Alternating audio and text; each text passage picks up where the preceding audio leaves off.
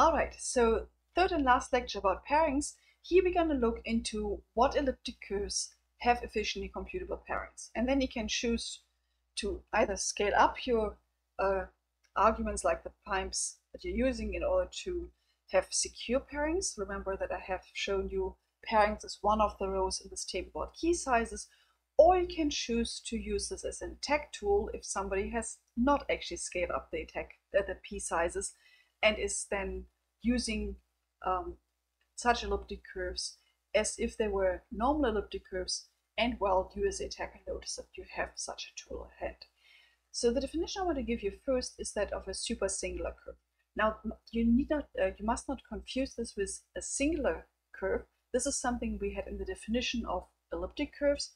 An elliptic curve is a non-singular curve, but super singular is a different property. So supersingular is kind of a special elliptic curve. Most elliptic curves are ordinary and only some very special curves are supersingular. Now for this lecture I'm going to look at elliptic curves in a bit more generality, not just over Fp, but over more general finite fields Fq. So this Q is some p to the r, some prime power there. And of course, uh, Fp is a special case for r equals 1. So the definition of E being super singular that I want to give you is related to the number of points on this curve over FQ. So if you're looking at an elliptic curve defined over FQ, and then, well, you know from the Hasse interval, the number of points is somewhere around the size of the finite field, so Q plus 1. And then there is E extra term minus t. And you know that this minus t lives between minus 2 square root of p and plus 2 square root of. All right, now the definition of supersingular is taking this t, this offset from q plus 1, and the definition of supersingularity is that E is supersingular if this t is congruent to 0 mod p. So for example, this curve that I'm showing here, I'm claiming it has p plus 1 points. So it's a curve over fp where p is congruent to 3 mod 4, well, okay, if it has p plus 1 points, then obviously this t is 0, and if it's 0, it's also 0 mod p. Okay, so if it has p plus 1 point, it is super singular, so let's see why this curve should have p plus 1 points. And, well, this will use that p is going to 3 mod 4. But let's first look at when this right-hand side is 0. So when we're looking at this right-hand side, well, it could be that this part is 0, that happens for x equals 0, or that this part is zero. So if x is plus or minus the square root of minus a4, if those are defined. So I mean, if minus a4 has a square root over fp, then those give you extra points. So each of those points has the x coordinate just stated and then zero because I mean, these are roots of the right hand side. So this is one zero equals that. And now comes the part where it matters that p is congruent to 3 mod 4, and that wouldn't work for p congruent 1 mod 4. Namely, when you're taking the um, right-hand side here, and you're plugging in x or minus x, then this x squared term plus a4, that doesn't change. It's exactly the same. What changes is the first part, that is either x or minus x. Well, and if you have that p is congruent to 3 mod 4, the one thing that you should always think if somebody gives you this restriction is that minus 1 doesn't have a square root over those fields. So for instance, if you're looking at the finite field with 7 elements, there's none of the elements squares to 6. Same holds for all larger fields like F11 and so on.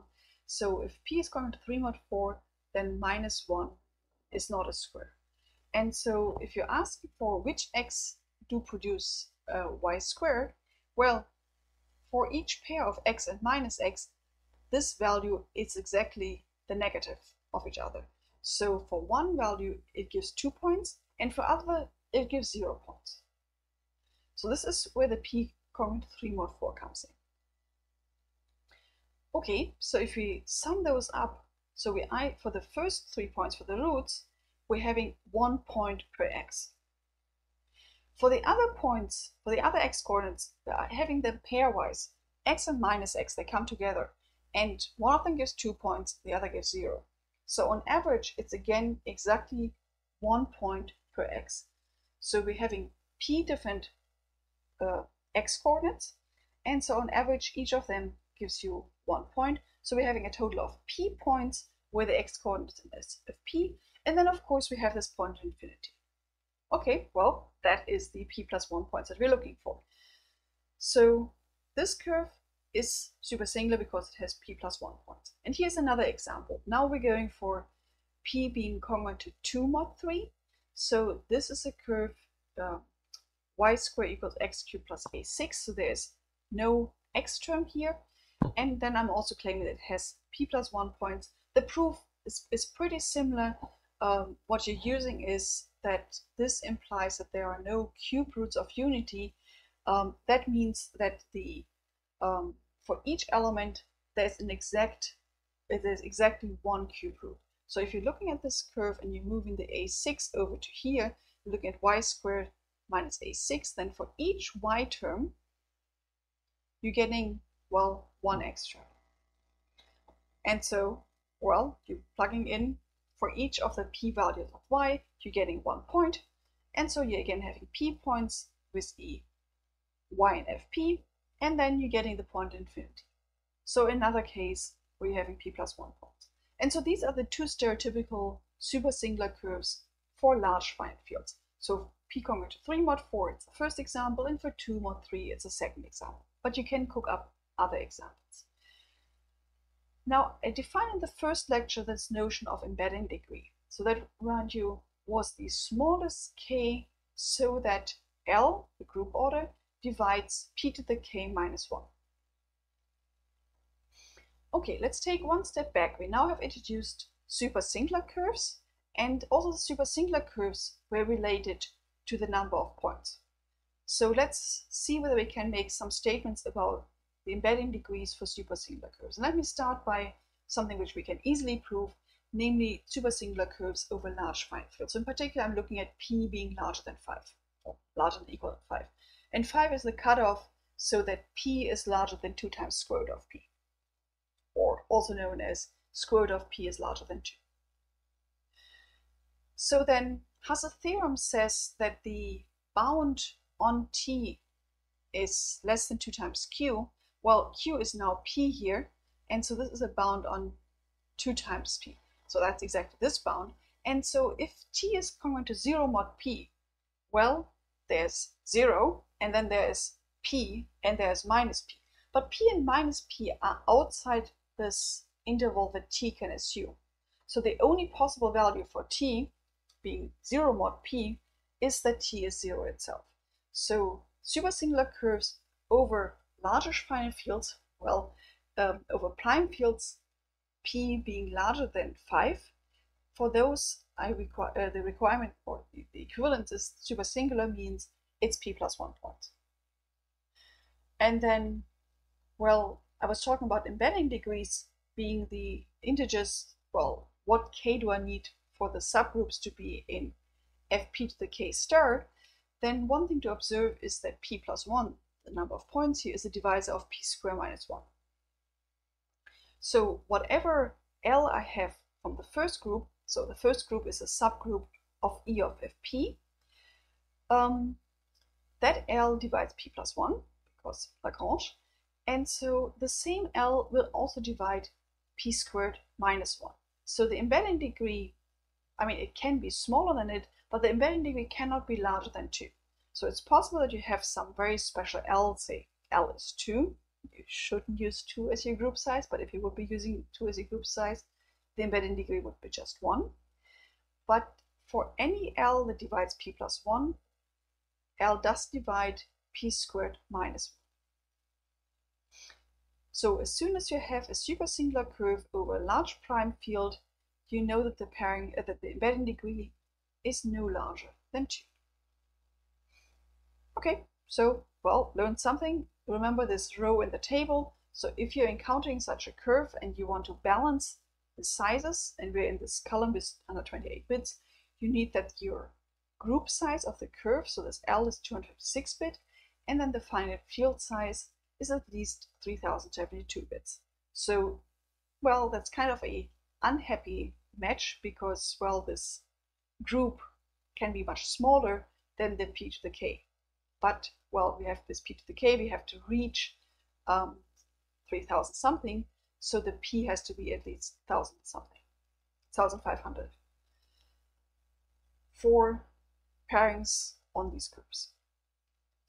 Now, I have mentioned distortion maps in the context of this BLS signatures, and actually for these particular supersingular curves, we do have efficient distortion maps.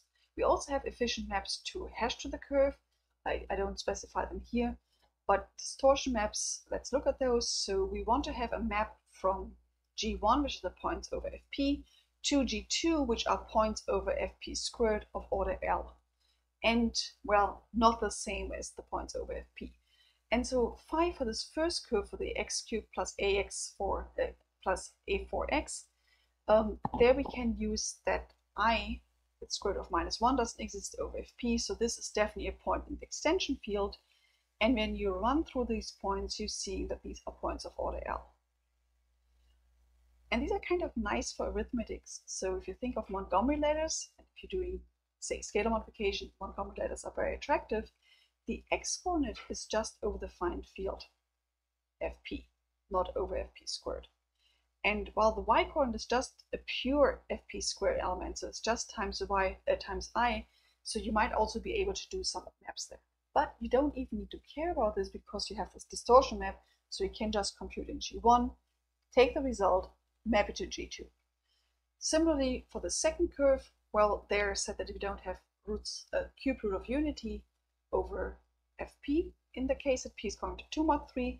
And so we're taking a non-trivial cube root as j, and then here we have our distortion map. You can verify that these points are over the finite field, uh, sorry, are over the curve. So if you're taking this point and you're cubing this one, well, you're having minus x cubed, you're having minus a4x, and the i times y gives you a minus 1 here as well. So if xy was on the curve, then also phi of xy is on the curve. And then similar over here. This is even easier to see because you have a cube root of unity. It just goes in the x part, turns into 1 when you cube it. And so for xy the original curve, jxy is on the twisted, uh, it's on the uh, G2 curve. So the nice part is you can use them for BLS signatures, but as I warned you, you need P of 1500 bits and up. Then we have seen an example of this actually. Um, remember the example I gave you in the DLP lectures, the curve that we've been breaking every which way. So this was a particularly bad choice of curves. We have already seen that while it didn't even have the full group order in a cyclic group, we lost a factor of two there. And then we noticed that this 500 well, was a curve over a million three, having a million four points which is means that it's a supersingular curve, it's exactly p plus 1. We have also seen that this curve is very, very weak under Pohlig-Hellman because 500,002 splits these with the power. This was 2 times 53 squared times 89. So we have broken this with Pohlig-Hellman in, in much less time. And now we see another way to attack it, namely by using pairings. Because this is a supersingular curve, we have an efficient pairing and we have this distortion map.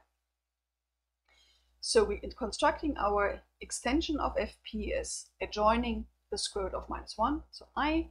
Then we have this distortion of our uh, base field here. Now,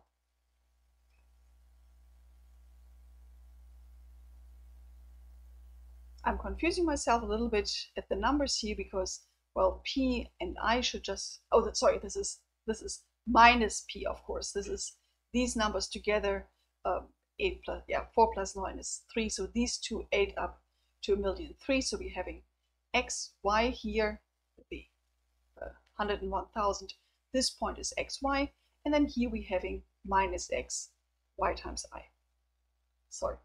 Um, and then finally, we compute the pairings. So when we're plugging in the base point, with the uh, distorted point and compute the pairing of this. Well, I asked my computer for the Weil pairing and it gave me this number. This is an element of fp squared. And I also did the same on the target curve. And then, well, these are small enough that I can just search for it or I can use baby step, giant step and so on. And we have solved this already, but I can also solve it with index calculus attack there. And the index calculus attack is an attack that scales really, really nicely. And index calculus in FP squared is a lot easier than the normal discrete log in FP. Whether it is easier in this case is a different story because, well, this group order is, is highly composite and so actually uh, doing the attack on the, uh, on the group side in this case is easier. But if I would fix that by choosing a group which has prime order or almost prime order, it would still be a bad example in that um, if I would fix it to have a group order which is almost prime but still has p plus one point, so by choosing a different prime so that actually that would give me an almost prime number, then I would still have the pairing as an attack. To get all parts of the lecture together, this is actually the same example that we have seen with the clock. So when I did the clock group, I also had an example of p plus 1 curve points over a million three, and that is exactly what is happening here with these i, well, you have to flip x and y to make it work. So final slide, um, embedding degrees for other curves. I said in this lecture we're also looking at a larger finite field, so not just FP, but also FQ. And then supersingularity gives you a bit more flexibility. So for uh, just prime fields, I showed you that the embedding degree is no larger than 2. Um, but for other finite fields, you have a bit more flexibility just because your t can take other values. So if you have, for instance, a binary field, so power of 2, fp to the 2 to the r, then you can have that k is up to 4 and there exist curves where the embedding degree is 4. So that's because your Hasse interval then is large enough that also 2, uh, sorry, that p is in there. So t being p, sorry, t being p or 2p even can fit if you're looking at sufficiently large extension degrees. But you will not see anything larger than k equals 4 for characteristic 3, so P is 3 and then R is large in order to get anything anywhere decent uh, with discrete log security, um, in that case you can have embedding degree up to 6, but none of the supersingular curves can ever have a larger embedding degree. Now the paper I'm citing here from Menezes, Okamoto, and Vanstone, that is actually an attack paper saying you should not use supersingular curves for cryptography because these pairings give you a transfer from the discrete log problem in the original curve to a finite field, and it's much, much easier to solve on the finite field side. Now, historically, there were some more papers afterwards saying, ooh, ooh, ooh, I noticed some attack example. Here are some other curves which also have small invariant degrees while they are ordinary. And yes, uh, it's an implication in one way. If it's a supersingular curve, the embedding degree cannot be larger than 4, and in typical case that you would be looking at not even larger than 2. But it doesn't mean that if you have an ordinary curve that it can't happen. It won't happen to your randomly chosen curve. So if your P and K, sorry, if your P and L are in some random position, I mean P is about the same size as L, then normally the order of P mod L is about the size of L. I said this already when I motivated the embedding degree. So normally the embedding degree is very, very large. So you have to put in a lot of effort to construct curves where the embedding degree is smaller. But since people liked uh, pairing-based protocols, there are now a few designs where you have an intermediate size um, embedding degree. So the, well, most famous example or most useful example is the Barreto-Naehrig curves, and those have embedding degree 12.